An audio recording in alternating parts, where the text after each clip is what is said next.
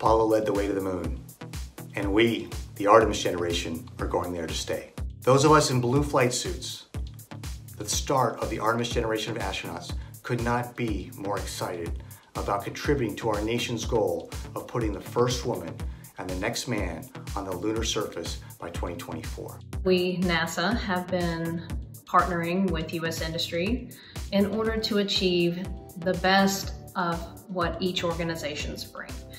So without further ado, the companies are SpaceX. The SpaceX design is a single stage solution using their Starship. The SpaceX proposal included in-space propellant transfer demonstration and uncrewed test landing. The second company is Dynetics. And Dynetics has many partners that they will be working with. It also has a very unique low slung crew module, putting the crew very close to the lunar surface for transfer and access. Dynetics will perform a demonstration flight to verify key capabilities for its lander system. And the third team is the national team with Blue Origin as the prime.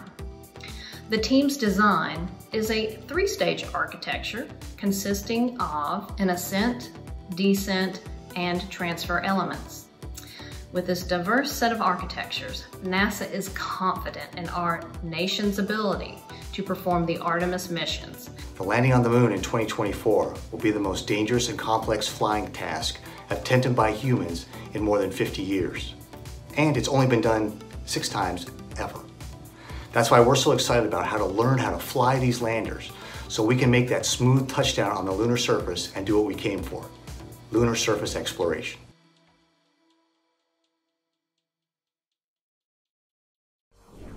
Subscribe for more space.